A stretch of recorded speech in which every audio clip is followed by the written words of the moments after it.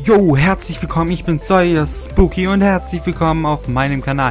Ihr seht wieder im Hintergrund, wie ich mir ein DLC wieder suche und ganz klar, es ist das ganz neue DLC von Naruto Shippuden Ultimate Ninja Storm 3 und es heißt Spezialoutfit Paket und ja, das sind mächtig Kostüme drinne, die auch echt funny sind und zwar sind da zum Beispiel Naruto als Cowboy, Naruto als Pirat, Naruto als Matador, Naruto als Gondoliere, Naruto als äh, im Kimono, ähm, Naruto in bayerischen Lederhosen.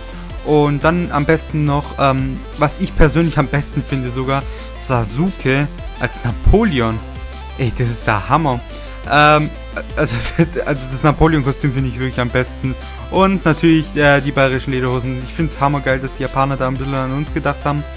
Äh, oder, bisschen, äh, oder besser gesagt Cyberconnect. Und ich finde es einfach Hammer. Und ja, mich würde es interessieren, holt ihr euch das DLC, holt ihr es euch nicht? Wie findet ihr es? Ähm, ja, findet ihr es sinnlos? Findet ihr es cool? Oder keine Ahnung, schreibt mir einfach alles in die Kommentare, es interessiert mich wirklich. Ich lese auch wirklich jeden Kommentar. Und ich kann auch nur wirklich wieder sagen, ich werde mir jedes DLC holen. Ähm, ich habe jetzt nur noch 2,06 Euro auf meinem Konto. Ich muss mal gucken, ob ich jetzt wieder Geld drauf kriege, weil sonst kann ich mir kein nächstes DLC holen. Außer es kostet jetzt das nächste 1,99 Euro. Und mal gucken, was das nächste DLC sein wird.